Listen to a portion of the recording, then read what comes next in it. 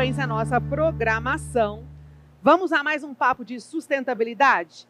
Só que dessa vez mesclado com marketing. Vocês sabiam que um estudo publicado em 2022 afirmou que a confiança do consumidor está também ligada à felicidade? Olha só. Imagina o quanto as marcas podem influenciar na criação de uma sociedade com mais bem-estar e igualdade, que promova mais felicidade em diversos sentidos. Vocês já pensaram nisso? Quanto que isso é importante? Bom, a próxima palestra vai falar exatamente sobre esse assunto, sobre como utilizar a felicidade e a sustentabilidade como uma importante estratégia de marketing. Quem vai falar com a gente agora sobre esse tema é o Rodrigo Aquino. Vem para cá, Rodrigo. O Rodrigo é fundador, diretor fundador do Instituto, Instituto Dignamente. Seja bem-vindo, Rodrigo. Pega seu microfone, se aproprie, fique à vontade, Obrigado. o palco é todo seu. Obrigado tá? pela apresentação, obrigado a todos que estão presentes aqui. Uh, eu estou muito feliz em poder compartilhar com vocês uh, a minha trajetória e principalmente poder inspirar pessoas que estão aqui ligadas ao universo do bem-estar, universo da, do marketing, para a gente poder ajudar a criar uma sociedade com mais saúde mental e com mais felicidade. Então, primeiro agradeço muito a presença de vocês. Uh, quero só ver aqui o meu. Gente, o meu negocinho. Ah, foi. Ah, ele tá para cá, pessoal, cabeçudo, obrigado. Vamos lá, gente. Primeiro é o seguinte: a, a proposta do Instituto Dignamente uh, é exatamente essa daqui. A dignidade é o princípio para o florescimento, excelência e crescimento socialmente, crescimento econômico sustentável. Qual que é a ideia da dignidade? A dignidade ela é a porta de entrada para a felicidade. Se você não tem dignidade. Quando eu falo dignidade, é segurança, confiança e liberdade e consciência. Fica mais difícil de você acessar a felicidade, que é um conceito, a gente vai falar mais sobre isso lá na frente, mas é um construto social. A felicidade, muita gente associa a felicidade como um sentimento, mas na verdade ela é um conjunto de fatores que são nutridos por sentimentos e emoções. Combinado? Então, para quem quiser conhecer, opa, quem quiser conhecer o meu trabalho, uh, pode acessar nas redes sociais, arroba Rodrigo de Aquino. Vamos encontrar todas as matérias, todas as coisas que eu já fiz, e a gente vai falar sobre felicidade, sustentabilidade como estratégia de marketing. O que, que uma coisa tem a ver com a outra? Fica a grande pergunta. Né? E aí a gente tem uh, essa ideia do próprio eu vou me dar bem com esse controle remoto, pessoal, até daqui a pouco. Vamos lá. Uh, essa frase de um estudo da Ipsos é que norteia muito o nosso bate-papo de hoje, tá? Que a felicidade e a confiança do consumidor são altamente correlacionadas. O que, que isso quer dizer? Isso quer dizer que uh, o indivíduo, quando ele tem uma relação social com mais confiança, segurança e, como eu disse lá atrás, de dignidade, ele consegue sentir mais à vontade no processo de compra, no processo de ouvir o que a marca tem para lhe oferecer. E nesse processo todo, quem sai ganhando é a marca. Agora, o que, que as marcas estão fazendo hoje para a sociedade? Será que a gente estimula uma relação de confiança com o consumidor? Será que a gente, as marcas, quando elas fazem aquele tipo de, de abordagem, compre, compre, compre, compre, compre, compre, compre, a gente está gerando neles uma, uma relação de sustentabilidade, uma relação sustentável, né? E principalmente um ponto que eu vou bater muito aqui na nossa conversa é o quanto que a gente precisa ir além do conceito de sustentabilidade e começar a pensar no processo de sustentabilidade regenerativa. Quanto a gente precisa regenerar os espaços e as nossas relações e a forma como a gente produz comunicação, a forma como a gente produz marketing, a forma como a gente cria produtos, a forma como a gente, como a gente se relaciona com os nossos colegas, com todos os stakeholders que estão presentes dentro de um sistema de consumo. E aí, tem esses dois pontos que eu acho que é importantes a gente pensar, que assim, a Ipsos também fez aqui no, no Global Happiness de 2024, mostrando que o Brasil é um país menos satisfeito com segurança pessoal, Então, quando a gente está falando sobre isso, está falando sobre uh, a insegurança que o indivíduo tem, seja na hora de se relacionar com o outro, seja na hora de consumir, né? E também essa pesquisa fala que o Brasil é o país uh, mais desconfiado, que tem as pessoas mais desconfiadas. O tal do jeitinho brasileiro faz com que a gente tire sarro dessa história, mas muitas vezes faz com que a gente se relacione com, com as pessoas de uma forma desconfiada. Porque será que essa pessoa tem boa intenção comigo? Será que ela está aberta realmente a me oferecer, a me entregar o melhor que ela tem para me entregar? E nesse meio tempo, as relações humanas, que são a principal fonte de felicidade, bem-estar, saúde mental, elas ficam sempre deterioradas. Como que a gente, gestor de marca, gestor de empresa, pessoal, profissional da comunicação e principalmente pessoas que estão ligadas a esse universo de bem-estar, pode ajudar a transformar o mundo, transformar a sociedade num lugar mais agradável, mais confiável, com mais bem-estar. E o que é felicidade, afinal? Uh, a felicidade, como eu disse lá no começo, ela é sempre muito associada com o sentimento, ah, eu estou feliz, né? Mas ela geralmente ela é confundida com a alegria ou confundida com satisfação, né? A felicidade é um construto social, ela é uma ideia em que cada comunidade, cada país, cada uh, continente tem um formato e um jeito de enxergar tudo isso, né? O jeito de você ser feliz. Porque ela está ligada com princípios morais, com princípios éticos, com ah, aquilo que é importante para mim. E aquilo que é importante para mim, o que torna um, um, baiano alegre e feliz, não necessariamente é o que torna um sulista alegre e feliz. Porque são valores diferentes e são, apesar de estarmos no mesmo país, mas a gente vive num país continental. Né? E assim a gente. E, e tem um grande ponto que é sempre importante a gente resgatar, que assim, todos os estudos feitos sobre felicidade, invariavelmente eles são feitos pelo, por, uh, por cientistas do hemisfério norte, sempre pensando uh, nessa, nesse olhar do homem branco, europeu ou americano, não traduzindo em alguns momentos esses conceitos que são importantes e valores que são importantes para a gente que está aqui no hemisfério sul. Né? Então, quando a gente fala falando de felicidade, ela não é, inclusive é o seguinte, a felicidade não é ausência de problema.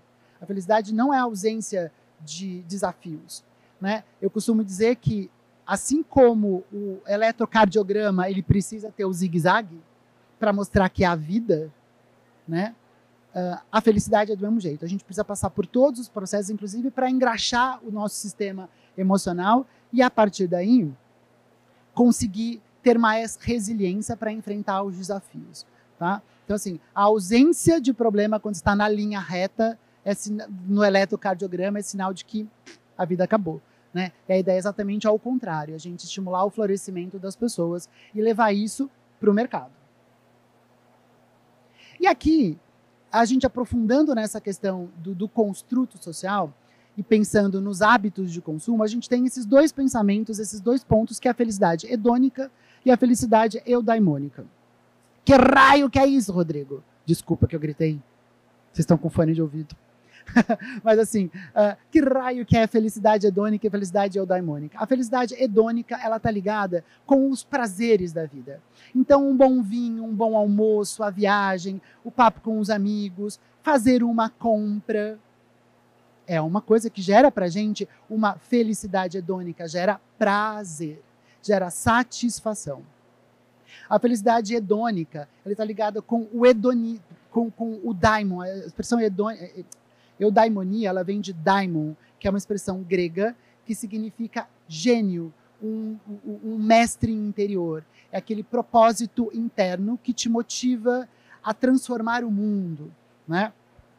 E aí, uh, quando a gente pensa nisso, a felicidade ela não é uma coisa ou outra coisa. É quando você consegue equilibrar essas duas, essas, esses dois polos na sua vida. Então, assim, não dá para você viver só na base do hedonismo. Viagem. Sabe aquele desenho animado do pica-pau?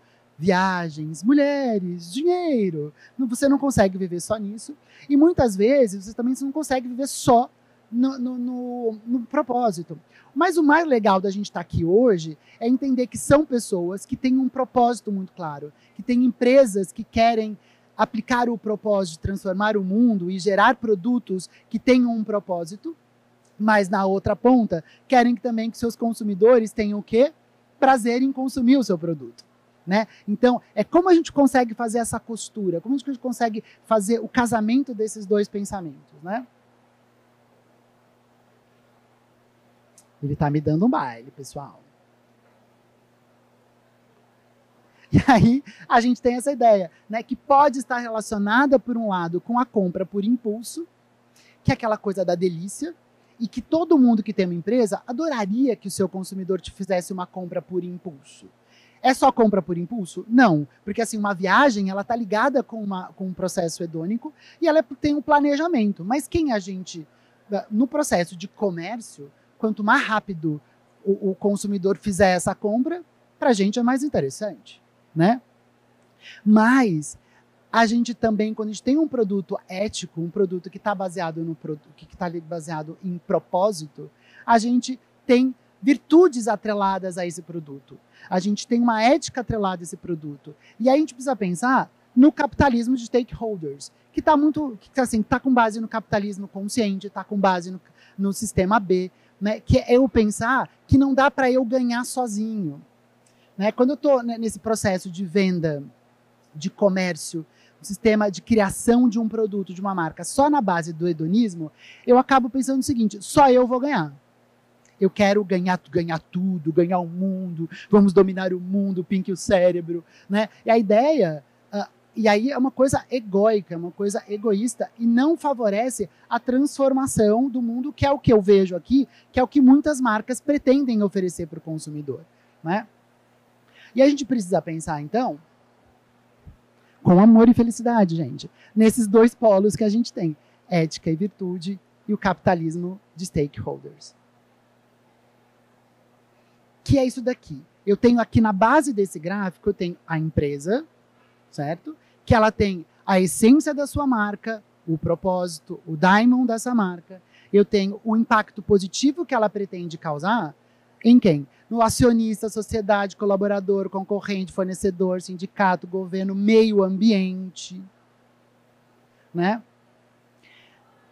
E aí, quando eu penso, quando eu tenho um sistema que é um sistema interno, né, de, de gestão, que eu quero só ganhar, ganhar, ganhar, ganhar, ganhar, eu não consigo muitas vezes impactar todo mundo porque eu vou acabar puxando o tapete do meu, do, do meu concorrente, vou puxar o tapete do meu fornecedor, né? E aqui a gente está pensando que assim matéria-prima de todo boa parte das pessoas que estão aqui vem vem do, do mato, né? Vem da natureza e a gente precisa fazer com que essas pessoas também prosperem, com que essas pessoas também consigam crescer, para a gente poder ter uma sociedade virtuosa, uma sociedade com equidade para todos os lados. E aí tem esse pensamento domênico de Masi que é: não há progresso sem felicidade e não pode haver felicidade no mundo desigual em distribuição de riqueza, trabalho, poder, conhecimento, oportunidade e proteção.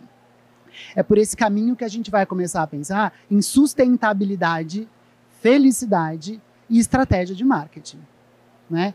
Como que eu consigo montar uma estratégia de comunicação, desenvolvimento de produto, uh, relação de consumo com o meu cliente e com meus fornecedores, onde eu consiga aplicar a essência da minha marca e gerar um impacto positivo no mercado como um todo. Né? Porque eu quero fazer com que o meu consumidor lá na ponta ele tenha uma boa experiência da marca, mas se eu não tenho uma verdade atrelada a todo o processo que eu venho desenvolvendo no meu trabalho, será que ele vai viver essa, essa verdade lá na ponta? Gente, só um parênteses. Se alguém quiser fazer alguma pergunta no meio do caminho, só levantar a mão, tá? Se alguém tiver alguma dúvida. E aí, a primeira questão é a responsabilidade da marca. A sua marca hoje, se você é dono de uma marca, você faz, se você tem a gestão de uma marca, qual é o impacto positivo que você quer causar no mercado? Essa é a grande primeira pergunta. Né? Quando eu tenho Uh, a Agenda 2030, por exemplo, os ODS, né, da, da, os 16 ODS que a gente tem da Agenda 2030, talvez num primeiro momento não dê para você ter o impacto das 16, mas você pode escolher uma ODS que você trabalhando de uma forma honesta com ela e direta com ela, você vai conseguir lentamente impactar todas as outras. Então, assim, qual o impacto que você quer causar com o seu produto, com a sua marca no mercado? Essa é uma primeira pergunta. Depois, como eu vou desenvolver o meu produto e como eu vou agir de forma coerente nesse processo, né? Uh, aquilo que eu vou comprar, eu estou comprando de um jeito ético. Aquilo que eu vou, o, o fornecedor que eu vou contratar, eu estou agindo de um jeito virtuoso, bondoso. Porque e aí a gente tem que pensar na cadeia inteira. Seja o meu fornecedor, o cara que está me, que tá me, que tá me enviando o coco, o açaí, o guaraná, até a gráfica que vai imprimir meu, a minha embalagem. Quando eu estou desenvolvendo o produto, coerência da marca, será que a minha embalagem ela está alinhada com os propósitos que eu decidi da minha marca? Porque às vezes ela está lá, o meu propósito da minha marca é super natureba, super sustentável, mas eu estou criando embalagens que são poluentes, feitas de produtos que não, que, que não tem fácil decomposição. Puxa, Rodrigo está pedindo muita coisa para mim. É muito trabalho. E guardem essa frase, é muito trabalho, para o último slide. Tam, tam, tam. Mas assim, uh, não dá para fazer tudo agora, mas é importante ter um planejamento para falar. Então tá bom, até daqui cinco anos eu quero desenvolver embalagens que são sustentáveis para eu poder ter verdade no impacto daquilo que eu estou propondo oferecer para o mercado. Qual é a verdade? Né? E às vezes é importante ser transparente e falar assim: eu não consigo agora, mas estou montando um planejamento para daqui 10 anos ter impacto zero de carbono. Né? Isso, aí, porque isso é um processo, mesmo que não dê para você falar para para o mercado, para o consumidor final, isso tem que estar muito, isso tem que estar muito claro para os funcionários, para os colaboradores. Porque eles começam, porque isso faz parte da estratégia da marca. E eles começam a trabalhar todos seguindo a mesma direção, a mesma luz. Não fica cada um tentando atingir a sua meta, atingir o seu, seu propósito interno, sem atender o que a companhia, o que a empresa tem como objetivo maior. Né? Depois disso, Acho que eles estão apertando lá, sabia? Quando eu aperto aqui, não vai. Tiririm, tororom. E a partir daí, a gente começa a criar embaixadores das marcas. E isso é a coisa mais fundamental que a gente tem para a nossa vida. Embaixador, que são os colaboradores que vão trabalhar com verdade, os fornecedores que vão oferecer viabilidade para vocês, e se você é um fornecedor, é importante você também ter esse olhar para o seu trabalho, de como você precisa vender verdade para aquele que vai comprar do seu produto, que vai comprar sua matéria-prima. E aí eu tenho o cliente lá na ponta que é onde é ele que vai dar vida para essa marca. Então a marca vai ganhando vida e você tem bons embaixadores, pessoas que vão falar bem de você. Né? Então assim, eu sou um bom fornecedor, e quando eu sou um bom fornecedor, a empresa que compra de mim, ela vai falar bem de mim lá na outra ponta. E a gente vai criando uma rede de empresas positivas, de empresas que têm humanizadas, de empresas que se preocupam com o sistema, e aí o sistema comércio, stakeholders, e o sistema ambiental, o sistema humanizado das relações. E a partir daí a gente vai criando o que? Marcas sustentáveis. Marcas que elas tendem a ser mais longevas. Aí você fala assim para mim, Rodrigo, tem um monte de marca, Tiranossauro Rex, aquelas bem que estão aí 300 anos no mercado. Eu vou falar para você, tudo bem. Mas hoje em dia, com funcionários, com colaboradores adoecidos, com o burnout em alta, pessoas que saem do trabalho falando mal da marca. Então, a gente precisa pensar em, em quão sustentável a gente quer fazer com que esse, com que a nossa marca e o nosso trabalho seja, como que ele vai ganhar espaço no mercado. E aí que eu coloquei esse, esse, esse asterisco aqui, longevidade, estudo de Harvard, que eu quero só fazer um contraponto que tem um estudo mais longevo sobre qualidade de vida no cá. mundo, uh, que são, já tem mais de 80 anos, que eles falam o seguinte, que o que gera mais felicidade, bem-estar e longevidade no ser humano é o que, que é? É os relacionamentos positivos. Né? Entre família, entre amigos. E quando você tem isso, você tem longevidade. E eu me permiti fazer essa, essa, essa comparação com o mundo corporativo, que eu também acredito muito que quando você tem uma relação positiva, transparente, justa, ética com os seus colaboradores, com os seus clientes, com os seus fornecedores, você tende a criar uma relação mais saudável e mais longeva. Então, a partir daí, a gente tem que pensar no quê? Em empresas sustentáveis que precisam desenvolver novos paradigmas. E aí, a gente está nesse processo de transição. Muita, muitas marcas ainda, sabendo que o mundo está mudando, elas estão acelerando no abuso, a gente sabe disso, mas assim, se a gente não cria agora um sistema com uma nova realidade ambiental, uma nova realidade para os profissionais, atendendo às novas exigências do consumidor, mesmo que seja um planejamento de médio a longo prazo, fica muito difícil de você conseguir, daqui a algum tempo, correr atrás do prejuízo. Tem, tem que colocar isso no, no papel agora. E assim, falo isso porque eu sou uh, de origem, eu sou planner de publicidade, tá, gente? Uh, então, eu entendo que para você conseguir alguma coisa lá na frente, você precisa pensar antes aqui, porque senão depois fica tarde ou fica mais difícil de você executar.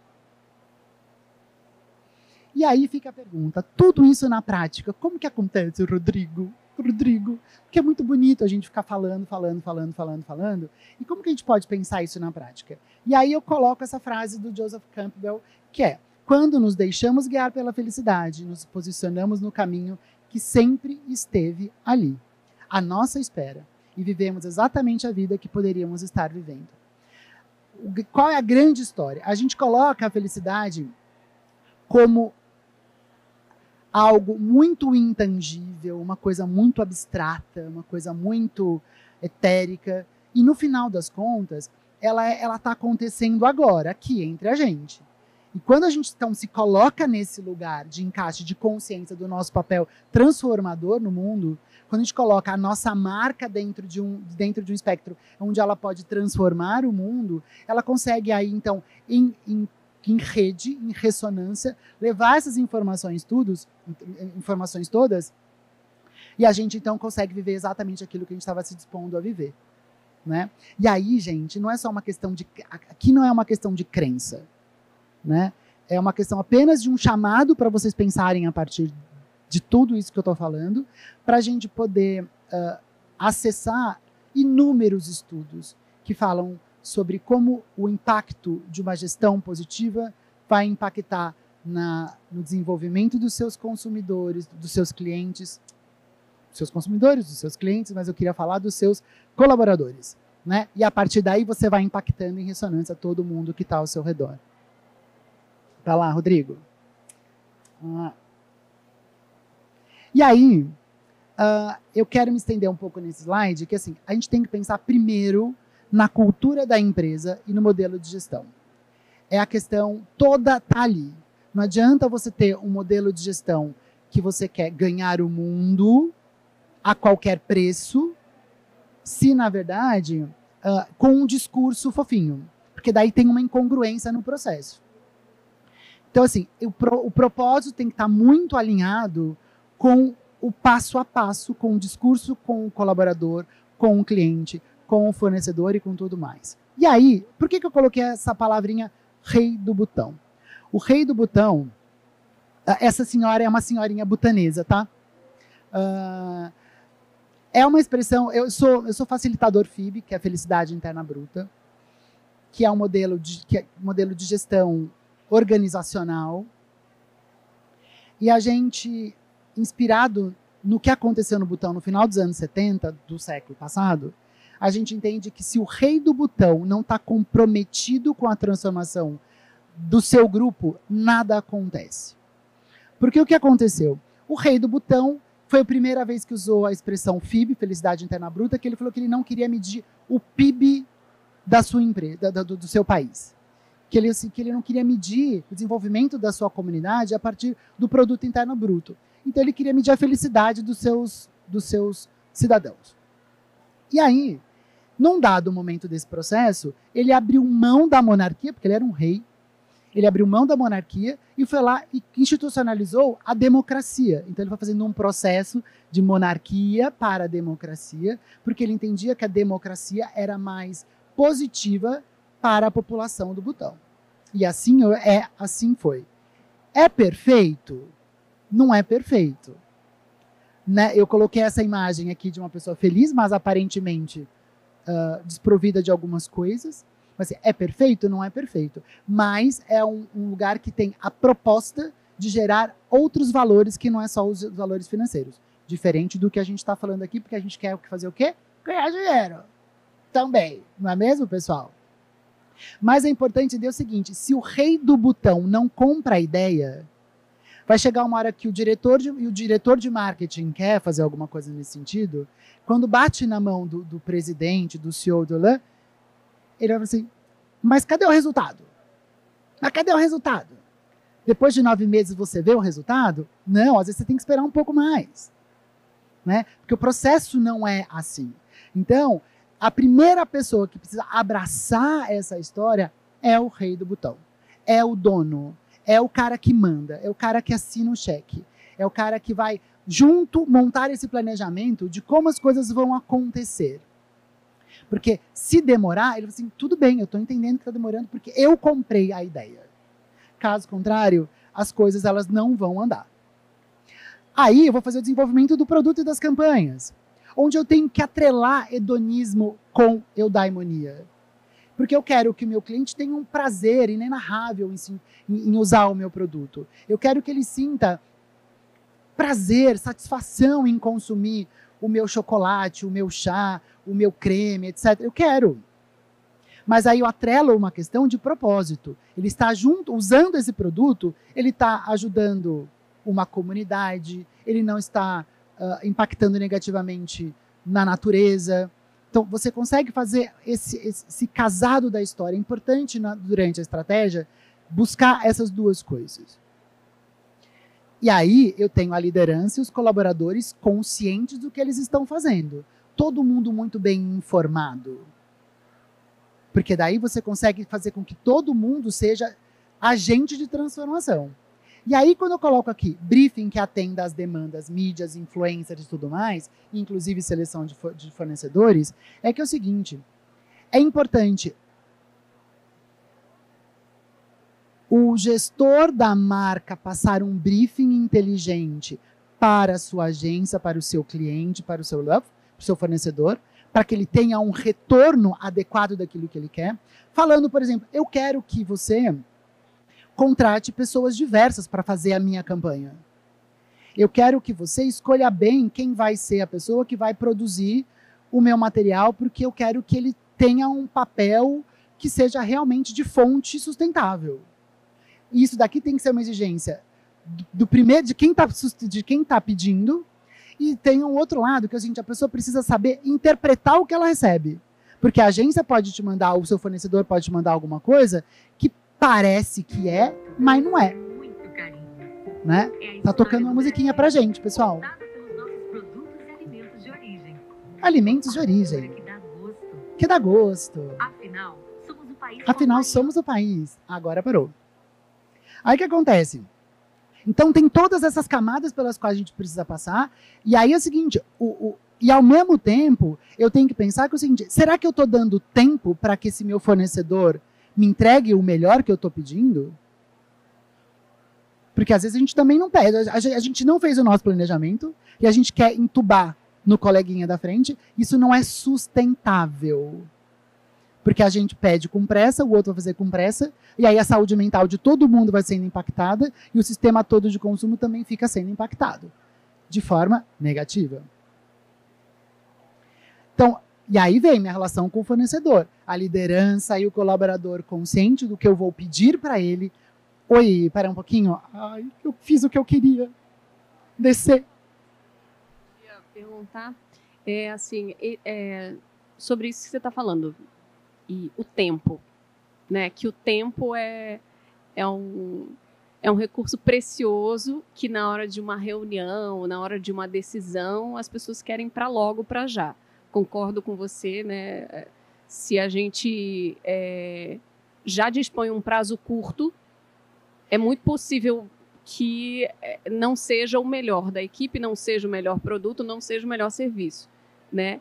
É, tanto para quem eu sou nutricionista, né? Então prestadora de serviço e o produto a gente não vê assim. Eu, eu penso que essa questão do tempo ser apertado e a qualidade do produto, porque isso é importante, né? E numa decisão, numa reunião, né? Todo mundo consciente. Quais são as demandas? É isso, isso, isso. Qual é o prazo?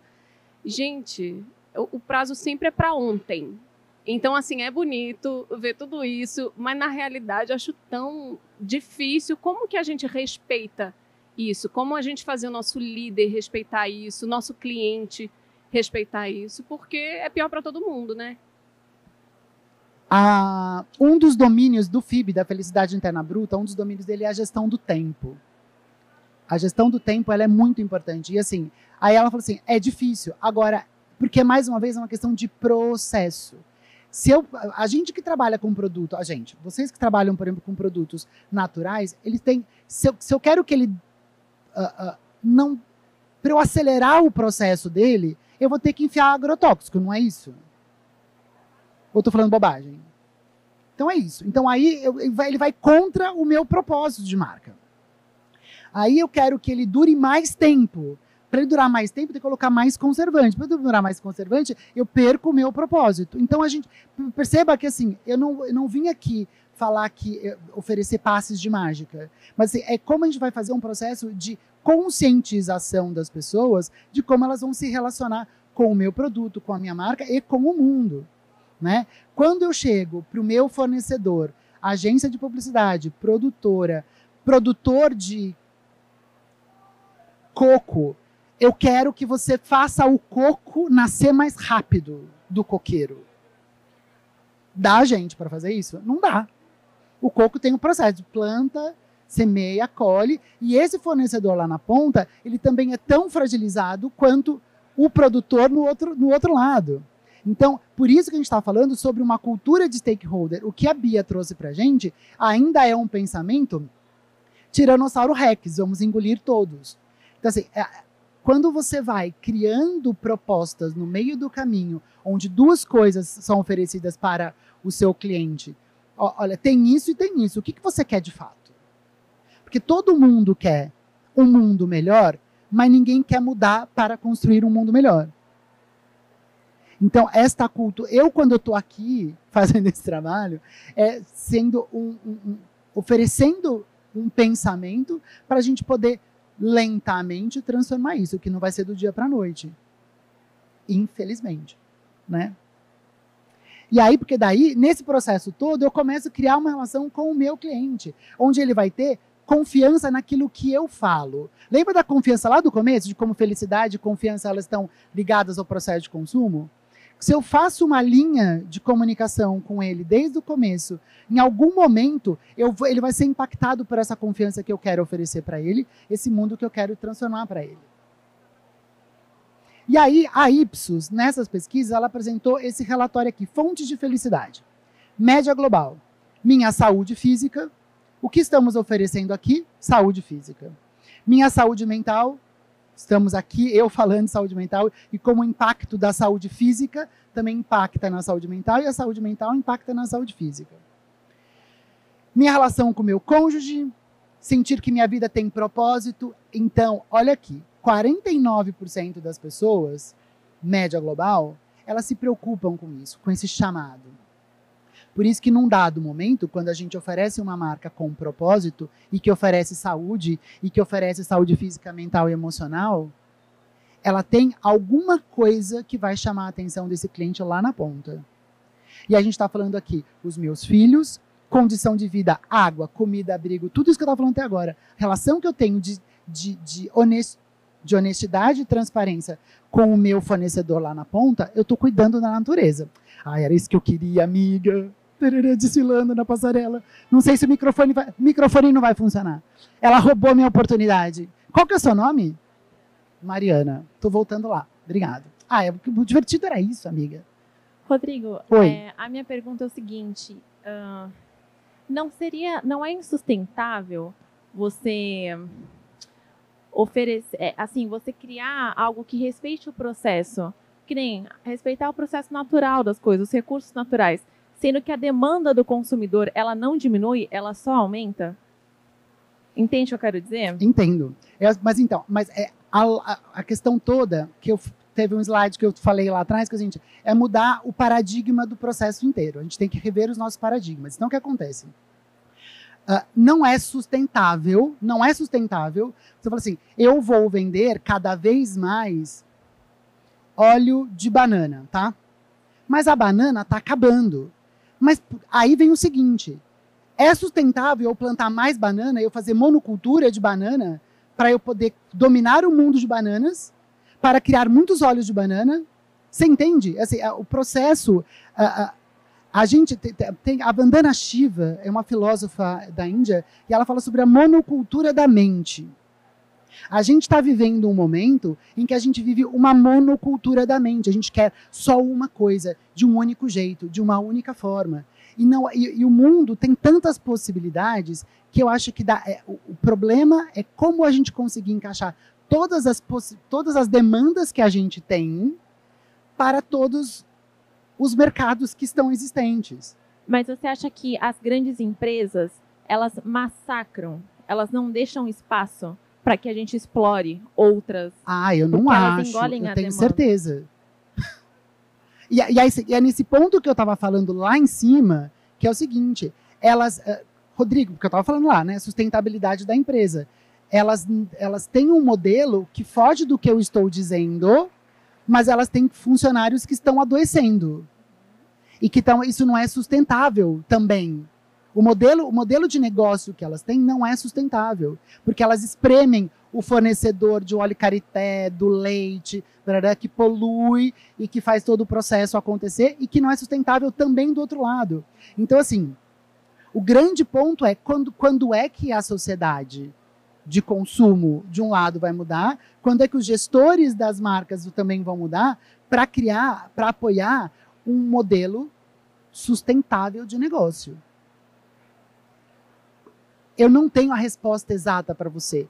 Mas você, você consegue entender?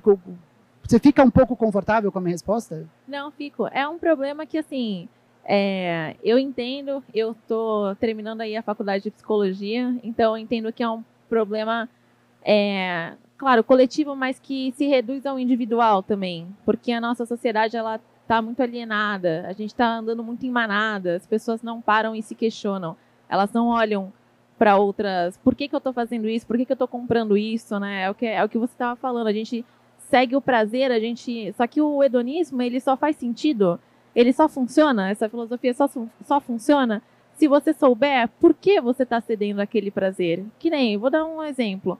O charuto cubano. Você só vai saber se você tiver conhecimento, se tiver cultura, porque isso é bom. Por que, que isso é bom? Essa filosofia só, só é sustentável assim. Porque senão você não, você não vive de fato uma escolha legítima. Você só segue uma, uma manada. É Mariana, né? Isso. Mariana, assim, mais uma vez, não é não ter hedonismo e não é só viver no, no, na eudaimonia. É você conseguir equilibrar essas coisas. A gente vive num mundo uh, cada vez mais uh, hedônico, completamente dopamínico, né? Que assim, é o like que dá vontade, é no seu like que dá vontade, é o like, like, like, a gente quer, quer, quer, quer, quer, quer, quer. A gente entra nessa espiral de dopamínica, né? Então, por isso que durante muitas, muitos slides meus, eu usei a expressão consciente, consciência. Se a marca, e é o seguinte, é o papel da marca, meu primeiro slide lá atrás, né? O papel da marca em apoiar a, a transformação de, uh, do da sociedade, porque assim, a publicidade, ela não é a demônia, mas ela, ela, ela ajudou a criar esse, esse mundo de consumo desenfreado. Mas se a gente não esfriar esse processo, o mundo vai acabar, gente. Não é isso? Então, assim, a gente precisa mudar. Então, assim, eu não estou aqui para demonizar o consumo, mas a gente poder repensar o consumo. Né? Não tenho a fórmula mágica, mas quando eu vou numa empresa falar sobre felicidade e bem-estar, eu proponho essa reflexão de como ele produz uma embalagem, de como ele produz um produto, de como ele faz essas coisas todas. Tá? Obrigado. Eu que agradeço, Rodrigo. Hum. E aí, eu, como Chief Happiness Officer, então, como gestor de felicidade nas organizações, qual é o meu trabalho?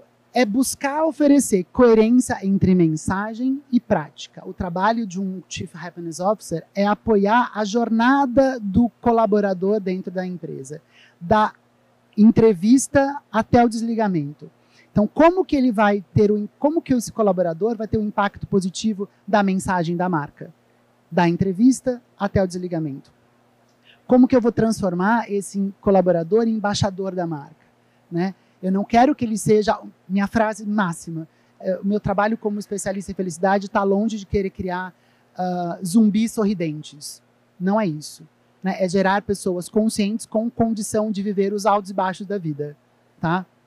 Então, uh, eu como Chief Happiness Officer, eu ofereço isso para uma organização e estimulo que isso aconteça como um especialista em felicidade interna bruta, eu me proponho, então, a oferecer para as marcas uh, a possibilidade de elas serem agentes transformadoras da sociedade, do grupo onde elas vivem, para a gente criar um mundo sustentável, gerando longevidade à marca, para que ela chegue no século 22. Porque essa é a grande história. A gente vai chegar no século 22 e como? Né? Tá tudo lindo, gente. Eu quero que todas essas marcas e outras, muitas outras marcas cheguem no século 23. Mas do jeito que a gente está indo, a gente vai conseguir chegar lá? E aí, oferecendo dignidade, que é a porta de entrada para a felicidade. A gente agir dignamente para que a gente possa fazer com que todos tenham possibilidade de experimentar as coisas. E aí, ah, o meu amigo estava de braço cruzado, bom tempo, uma cara de sério. Tô com medo do meu tempo. Manda. Rapidinho. Rodrigo, tudo bem? Tudo. É, Melhor agora. Eu sei que é difícil a gente conseguir frear esse, é, esse consumo que a gente tem, esse querer produzir, produzir, eu quero, eu tenho. Mas se a gente não fizer isso, em algum momento vai acontecer como já aconteceram com civilizações inteiras, que esgotaram os recursos naturais do lugar onde eles viviam e foram extintos. É muito difícil a gente conseguir isso, mas vai ter um momento que a gente vai ter que parar para pensar e forçar essa, essa freada. Qual que é o seu nome, desculpa? Pedro Henrique. Pedro Henrique? Ou Pedro Henrique? Uh, tem um monte de estudo que diz o seguinte: se a gente desaparecesse, se o ser humano desaparecesse do planeta, a natureza ia se recuperar e estava tudo muito bem, obrigado, lixando a unha, entendeu? Epa! E eles seguem. Então, é a gente, se a gente quer viver, se a gente quer que os nossos filhos, nossos netos, nossos sobrinhos, nossos bisnetos, eles tenham uma boa vida, é a gente que precisa fazer esse movimento agora. Assim como o planejamento de uma empresa precisa acontecer antes do, do para não acontecer por lá na frente. Então tem que olhar agora para diminuir o impacto lá na frente. A gente é a mesma coisa a gente. E assim, por isso que eu falei, não é só desenvolvimento sustentável, desenvolvimento sustentável regenerativo. A gente precisa fazer ações para regenerar o planeta e as relações pessoais, relações de consumo e tudo mais. E aí, para que todos possam prosperar e tornar a geração atual capaz de consumir e conscientemente tornar-se uma representante fiel da sua marca. Então, assim, eu não estou falando da extinção do consumo. E aí está aí o capitalismo consciente, está aí o sistema B falando e apresentando modelos de gestão que isso pode se perpetuar e que isso pode ser mais sustentável. Agora, do jeito que a gente vai, só na base do hedonismo, talvez a gente não consiga chegar lá. Porque felicidade é um construto social inspirado em liberdade, segurança, confiança e saúde mental. E aí, quando a gente vive num modelo que, de, de ansiedade ecológica, né, uh, das catástrofes todas, porque isso tem todo um impacto lá na ponta. Uh, a ansiedade de querer comprar e não conseguir, tudo isso vai impactando, porque isso é um construto social que vai corroendo as pessoas por dentro, impactando no seu, no seu ser e estar no mundo, né? Então, a sua marca, como ela pode oferecer bem-estar para ajudar a mudar essa realidade? Alinhando seus processos à Agenda 2030, criando um ambiente corporativo mais humanizado, desenvolvendo briefings alinhados e conceitos de sustentabilidade, estimulando seus fornecedores a adotarem medidas sustentáveis. Porque, gente, felicidade é verbo. Então, quando eu falei que dá trabalho, dá trabalho. Felicidade demanda ação, movimento. Ela não cai do céu. A gente precisa fazer ela acontecer. Tá bom? Disse foi Epiteto. E o próprio Aristóteles fala que a felicidade ela, é pros, ela não é para os inativos. Né? Então, logo, felicidade é para os ativos, para aqueles que querem fazer. Então, a gente pode fazer acontecer e transformar esse mundo. Obrigado, gente!